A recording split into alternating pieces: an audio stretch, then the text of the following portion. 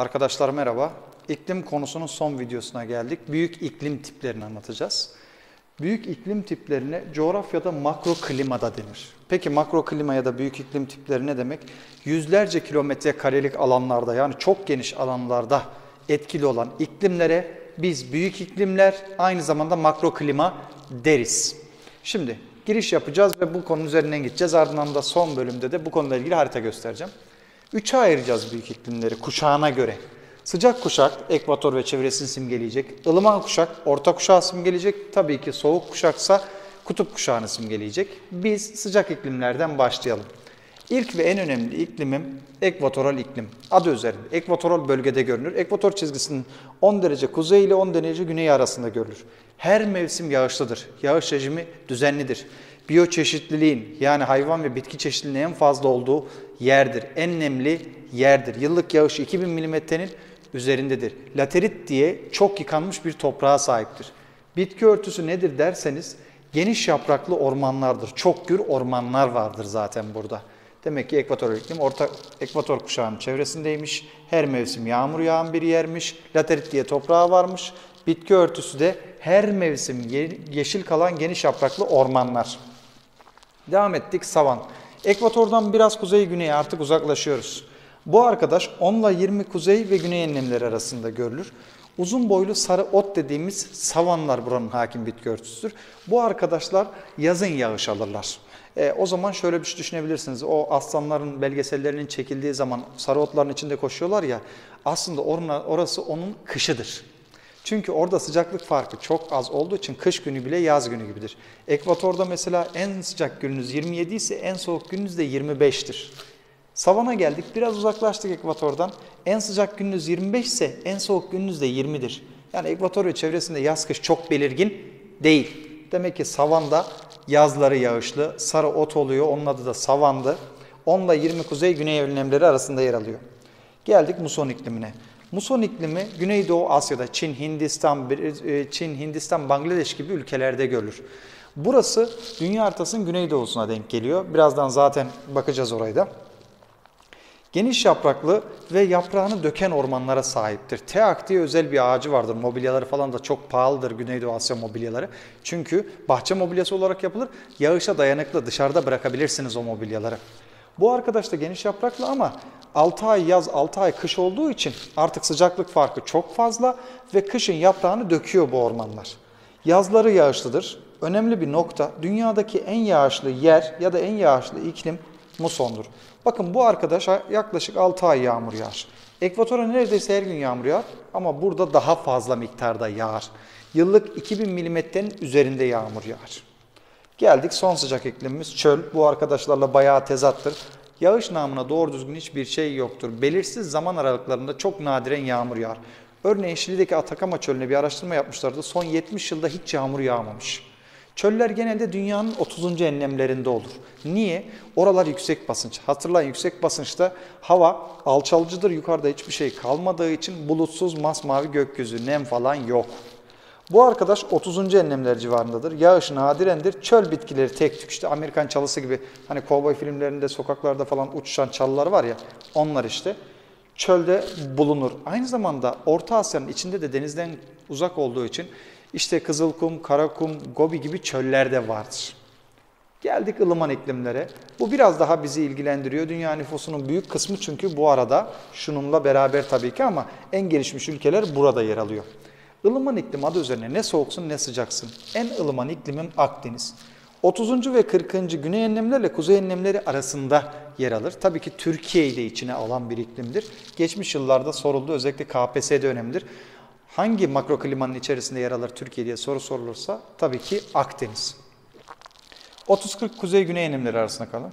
Ve bodur çalı olan maki diye bitki örtüsü vardır ama makinin atası Kızılçam'dır. Kızılçam ormanları çok yaygındır. Onlar tahrip edilip maki oluşturuluyor. Yani Akdeniz'e, Antalya'ya falan giderseniz denizden biraz yükseklerde maki çeşitlerini görürsünüz. Ama daha yukarılarda devasa ağaç olan Kızılçamları görürsünüz.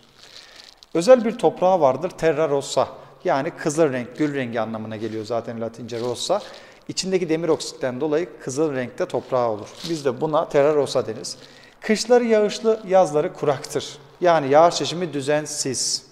Burada sıkıntı yok. Ilıman okyanusal iklime geldim. Bizdeki Karadeniz iklimi gibi düşünebiliriz aslında bunu. Genelde yeşil kalan karışık ormanlara sahiptir. Özellikle Batı Avrupa'da çok görülen bir iklimdir. Her mevsim yağışlıdır. Tıpkı neresi gibi? Bu arkadaş gibi. Yani ekvatoral yağmur ormanlarının olduğu yer gibi ılıman okyanuslarda her mevsim yağmur yağar. Fakat buradaki ağaçlar artık kuzeye doğru gidildiği için biraz daha hava soğuyacağına göre dayanıklı olmak zorunda. Alçak kesimlerde karışık, yüksek kesimlerde iğne yapraklı ormanlar vardır. Aynı bizim Karadeniz'deki gibi. Batı rüzgarları bu rüzgarın oluşumunda, bu iklimin oluşumunda oldukça etkilidir. Her mevsim yağmur yağar ama en fazla sonbaharda görülür. Türkiye'de de Karadeniz kıyıları böyledir ama esas Batı Avrupa'da, İngiltere, Almanya, Fransa'da. Step iklimi, diğer ismi karasal iklim. Artık Türkiye'nin tam ortası, Asya'nın ortası gibi düşünün. Orta kuşak kara içleri, denizden uzaksınız artık. Çok nadiren yağmur yağar. Aslında nadiren dediğim tabii ki çöl kadar değil ama belirsizdir. Ve genelde yağışlar ilkbaharda yağar. İşte bu nedenden ilkbaharda yeşermeye başlayıp yazın başında kuruyan ot topluluklarının genel ismi bozkır ya da steptir. Ankara'nın köyleri gibi, İç Anadolu'daki herhangi bir şehrin köylerindeki belli belirsiz bitkiden bahsediyorum. En fazla ilkbahar yağışıdır demiştim. Buranın net bir toprağı yok ama kahverengi ya da kestane renkli step toprağı verimsiz tahıl tarımına uygun toprak diyebiliriz. Sert karasal iklim adı üzerinde sert. Step iklimi Ankara'daysa örneğin sert karasal iklim doğuda Erzurum Kars'tadır. Türkiye'de en net yedi Erzurum Kars. Dünyada Asya'nın ortası özellikle kuzeyi, Sibirya, Kanada'nın kuzeyi çok daha sert kışların geçtiği, çok daha sıcaklığın sıfırın altına düştüğü ve karın uzun aylar yerde kaldığı iklim tipidir. Kanada virüsü dediğim gibi yaz başında yağışlıdır bu arkadaş. Hatta Türkiye'de Erzurum Kars'ta yaz başında yağmur yağınca insanın belini geçecek çayırlar oluşuyor. Orada da büyükbaş hayvancılık yapılıyor. İğne yapraklı ormanlardır. Soğuğa dayanıklı olacaksın. Tabii ki yaprağını döken ya da karışık olmaz burada. İğne yapraklı yani çam tipi ağaçlar vardır. Bunlara da Orta Asya'nın kuzeyinde özellikle Rusya'da tayga denir. Bazı yerlerde ise ismi boreal ormanları olarak geçer. Buradaki en verimli toprak tipi çernezyumdur. Bunu özel açtım buraya. Topraklar ileride işleyeceğiz ama ara sıra topraklardan da bahsediyorum. Fark etmişsinizdir. Çernezyum en verimli tarım toprağı olarak geçer. Kara toprak adına da gelir. Türkiye'de Erzurum, Kars'ta çok yaygındır. Fakat iklim ondan yeterince faydalanmamıza izin vermez. Geldim son kısım çok daha basit. Soğuk iklim. Tundra. Artık kutba çok yanısınız. Sibirya'nın en kuzeyi, Kanada'nın en kuzeyi. 10 ay boyunca toprak donmuştur. Çünkü sıcaklık sıfırın altında. Geri kalan 2 ayda toprak biraz çözünür. Üzerinde yosunumsu çok küçük bitkiler oluşur. Biz onlara da tundra deriz. Buradaki donmuş toprağın adı da tundradır. Hani bu rengeyiklerinin falan üzerinde Minsk öküzlerinin üzerinde gezdiği topraklardan bahsediyorum. Kuzeyde yani Kanada'nın kuzeyi, Rusya'nın kuzeyi, İsveç, Norveç, Finlandiya'nın da kuzeyinde görülür. Kutup iklimi adı üzerinde kutupta sıcaklık yıl boyunca sıfır derecenin altında olacak. Bitki ve topraktan kolay kolay bahsetmemiz mümkün değil. Evet bunlar büyük iklim tipleri. Yalnız bir iki noktaya hemen dikkat çekeceğim. Her mevsim yağışlı sorulursa ekvatoral iklim ve ılıman okyanusal iklim. Bu iki arkadaş her mevsim yağmur yağar. Ortak noktalara bakın. Bu ekvator içerisine geliyor. Bu özellikle Batı Avrupa'da görülüyor. Yazları yağışlı iklim sorulursa muson ve bunun kankası savan. Ama musondaki yaz yağışları çok çok daha fazla. Tabii ki sert karasalda da yazları yağış, yaz başı yağışlı ama bunlar kadar etkili bir yağıştan bahsedemeyiz. Yağışın olmadığı yerler sorulursa ya da çok nadir olduğu yerler çölden bahsedebilirsiniz. Tundradan ve kutuptan. En uygun iklim aslına bakarsanız Akdeniz iklimi, ılıman okyanusal ve step iklimleridir. Bunlar orta kuşakta daha çok görülür. İnsan yaşamına uygun şartlara sahiptir. Bir de bunları harita üzerinde görürsek işimizi bitireceğiz gençler. Umarım anlaşılmıştır. Evet. Burada bir dünya haritası görüyoruz. Dünya haritasının üzerine bu sefer iklimi işlemişler.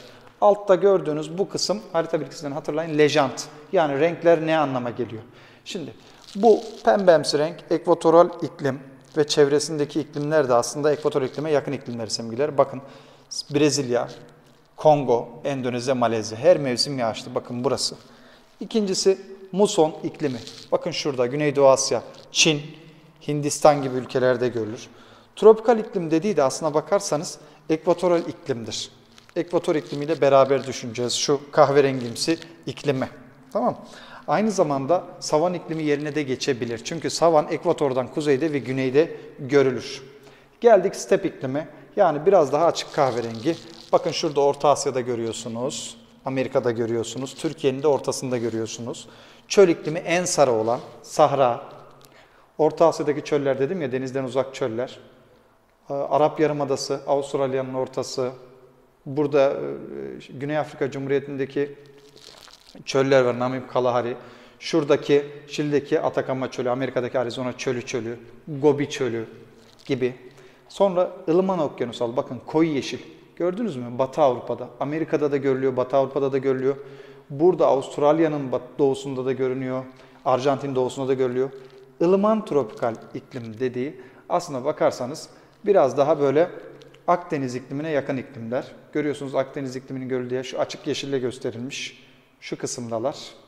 Akdeniz ikliminin etkili olduğu yer bakın burası. Ama Avustralya'nın güney batısında da var. Kap burnu, burası Ümit burnu orada da görülüyor. Amerika'da da görülüyor, Şili'de de görülüyor. Sonra nemli karasal iklim pembe ile gösteriliyor. Bakın aslında şuralar Orta Asya'nın kısımları bak görüyorsunuz.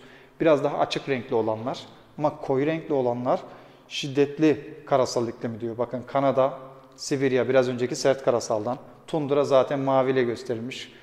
Kuzeyi görüyorsunuz kıtaların ve aynı zamanda Kuzey Kutbu ile Güney Kutbu'nu almışlar. Aynı zamanda kutup iklimini çok net vermelerine gerek kalmamış. İkisini beraber vermişler. Bir de dağ iklimi diye bir şey var. Bakın eğer bunu duyarsanız belki müfredatımızın içerisinde net bir şekilde şu iklim diye verilmiyor ama dağ iklimi oldukça önemli. Yüksek dağlık alanlarda sert karasaldan çok daha sert olan iklimler de vardır. Çayırlarla kaplıdır. Onlar Türkiye'nin doğusundan İran'dan başlar. Genelde şuradaki Orta Asya'daki Afganistan'ın, Pakistan'ın, Hindistan'ın, Çin'in, Tibet'inin dağların yüksek kesimlerini kapsar. Buradaki Ant Dağları, şuradaki Raki Dağları bak gri ile gösterilen yerden bahsediyorum. Evet, büyük iklim tiplerini işledik. Umarım faydalı olmuştur. Bundan sonra başka bir videoda görüşmek dileğiyle.